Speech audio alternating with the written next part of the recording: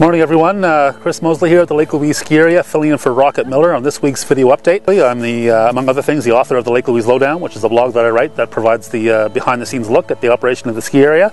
It talks about all sorts of things that people I think often wonder about but don't really have the, uh, have the ability to find out about. There's certainly no question that uh, our winter preparations are underway and uh, with the touch of new snow that we got earlier this week, winter's coming.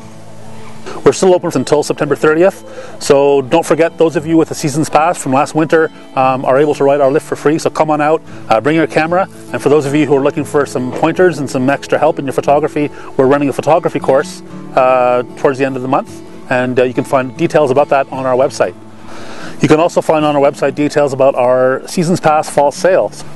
So as we head into September, there's a couple of projects that have been happening all summer that are wrapping up, uh, one of which is the painting of all the base area lodges. Also happening is uh, some restoration and improvement of the roof of Whiskey Jack Lodge.